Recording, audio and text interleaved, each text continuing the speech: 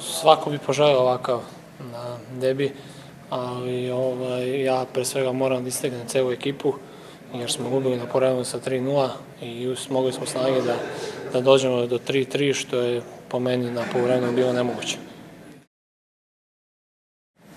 Pa, generalno, pritisak je, je uvek za mene neko dobrodošao i volim da igram pod pritiskom.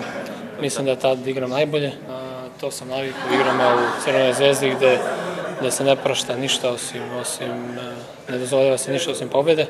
Ja nisam bitan kao ni svaki pojedinac, nego moramo da igramo za ekipu i ako budemo igrali kao što smo igrali u drugom povremenu, mislim da, da imamo šanse da izborimo ovaj opstanak i da pobedimo iz ove zone.